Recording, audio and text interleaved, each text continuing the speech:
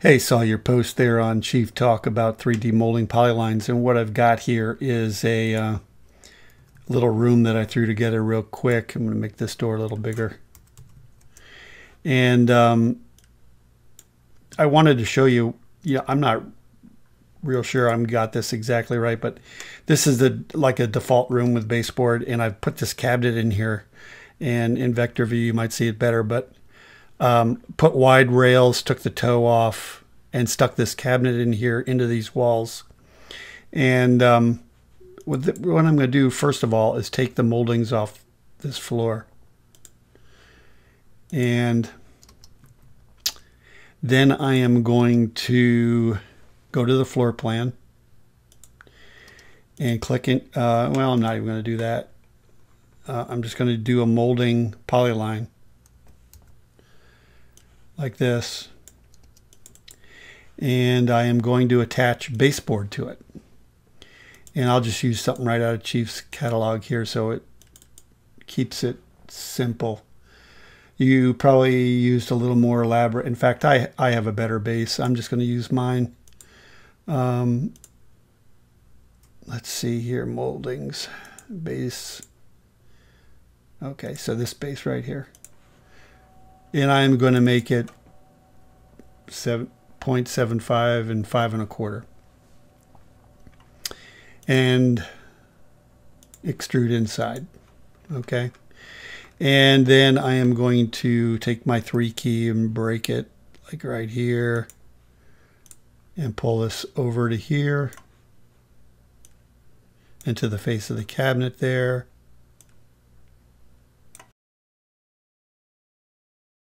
You can make a room molding polyline too, but I, I just do this way. I can control it better. I'm going to take my three key and break it right here by the casing and again over here. Click on this line and take the molding off right here. And as you can see, I pulled it a little too far. There we go let's just take a look at that and see what we got. So there you have your base running, you know, around the room, okay? And standard view, it just looks like that. So now for the cabinet, I'm going to draw a, a section elevation view right here. And then I'm going to go over here and get a 3D molding line and just click down here somewhere, maybe like right here. And then right here. And then one more. And then click on this and open it and replace that molding with that. I'm going to use that same molding. This base right here, make it three quarter. It's a pretty thick molding, I guess. I don't know why I made it like that. And I don't know whether they extruded inside. I don't think so, but um, that doesn't look right. Maybe I do need to extrude it inside. There we go. Yeah. And I'm going to pull this down just a bit. So it doesn't now. I got the cabinet a little too tall, as you can see. I think you get the picture here though. So if I pull this over just a little bit and I pull this over just a little bit and we take a look at the full camera view. That's what you got.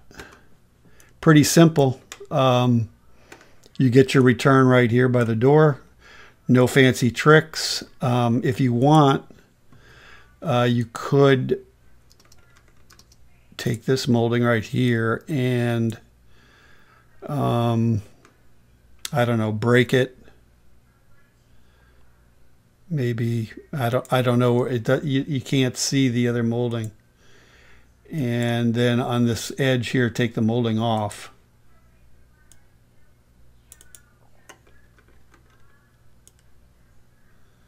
And pull it to the drywall here, I guess, or the face of the cabinet.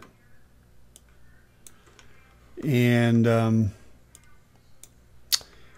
then let's take a look here. Uh, it's pulled it a little too far, see. But I think in 3D I can... Can I do it? I don't know.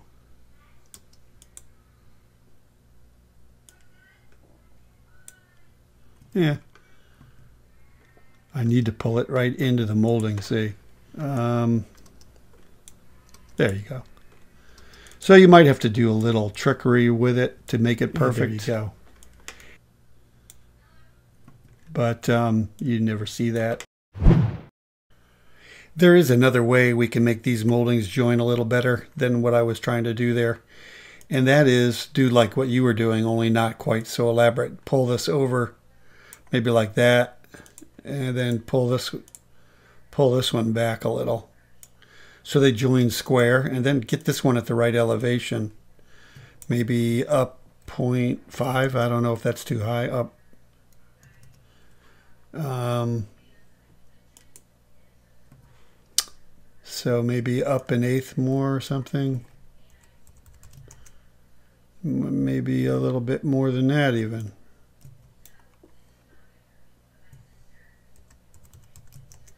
There you go. And so by combining, you know, you can turn this one, and this is the uh, molding polyline in the room. That makes for a really clean joint right there. So I just wanted to add that. That's a quick way to join those in vector view. You might see, yeah, you're going to see some overlap there. Um, so you can probably pull this back a little bit and you'll have that in vector view. But if you're going to show it in standard, uh, you know, that looks pretty good. And then you can always just add a molding here um, onto the bottom of the cabinet, something a little different, maybe uh, dash 01, just a square molding. And make it maybe 0.5 by 5 and oop, I didn't put it to the, there we go. And there you have it. So I don't know. I, I thought the answers you were getting were on Chief Talk are a little bit difficult. I wouldn't even want to do it that way. And in vector view, this looks pretty good. I wouldn't say it's fantastic, but uh, I guess if you're a perfectionist, this might not work for you. But um, for most things, I think it works, and it was fast. So I uh, hope the video helps. See ya.